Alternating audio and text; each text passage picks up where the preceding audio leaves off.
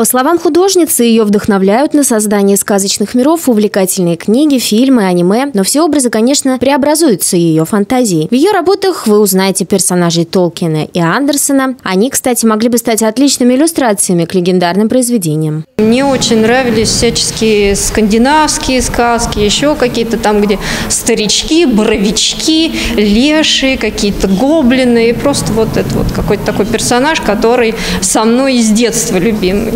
Вот, потому что они были самые таинственные. У нас в русские народные сказки это в основном там лисички, зайчики, бабки-ешки, а гномы, там эльфы и все остальное это скорее такие книжки, которые были более редкие. И все же на этой выставке интереснее рассматривать образы, которые от идеи до воплощения в красках принадлежат самой Виктории. Взять хотя бы персонажи и сюжеты мышиной истории. У художницы вышли грызуны романтики. Раскрыв зонты, они обнимаются под проливным ливнем, любят устраивать пикники и не боятся дальней дороги, если она ведет на море. В этой серии работ сюжеты взяты из человеческой жизни, поэтому они вызывают улыбку. Наверное, из детства это все идет, какие-то там книжки любимые, фильмы, мультики. Иногда бывает, э, посмотрел какой-то интересный фильм, мультфильм, почитал книжку, или там, я не знаю, вышел, а красивая какая-то погода сказочная навеяла, и создалась какая-то работа.